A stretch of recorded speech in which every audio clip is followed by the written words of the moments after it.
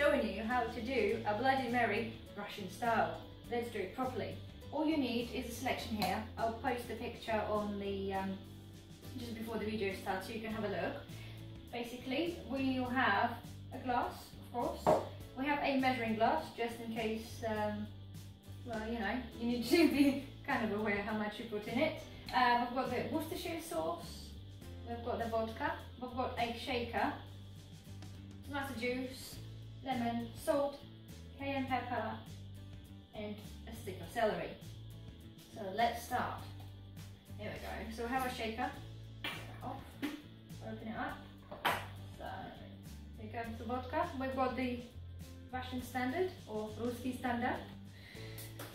Alright. It's one of the best. So I'm gonna put about 50 ml and a little bit more. Let's not be stingy. I know many places you go out and you order Bloody Mary, you don't really get much water and you can't actually taste it and it's not a proper Bloody Mary. So, we have, I think it's uh, a little bit over than 50 wouldn't you say? In it goes, in our shaker. we have a pinch of salt. We have a tiny pinch of cayenne pepper.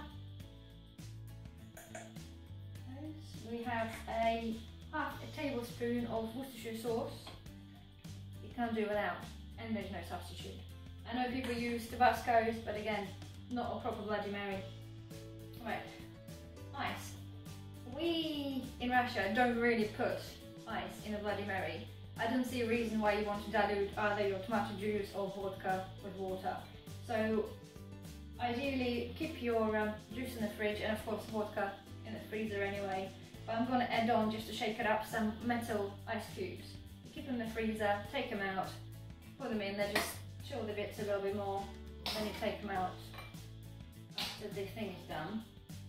Put that one in, and off it goes the uh, tomato juice.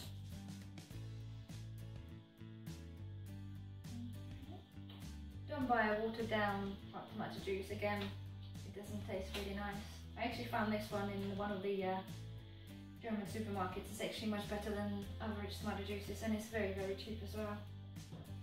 Okay, have a bit of lemon, squeeze a tad in there. You don't have to do it in a shaker if you don't have one, you can just mix it all in the glass, no problem at all.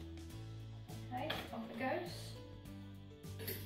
Give it a good shake, it's going to be really noisy because of the metal thing, so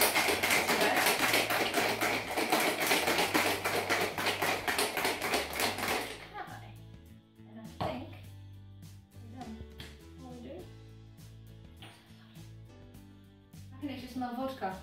Honestly, I never ever had a Bloody Mary anywhere where you can smell or taste vodka in it. So you should best do it yourself. And off it goes.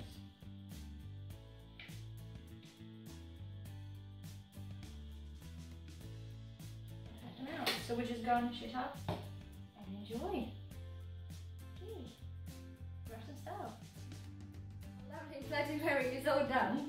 Uh, what I've done, obviously, garnish the drink. So we have a little bit of lemon and a piece of celery and a straw. I shall now enjoy.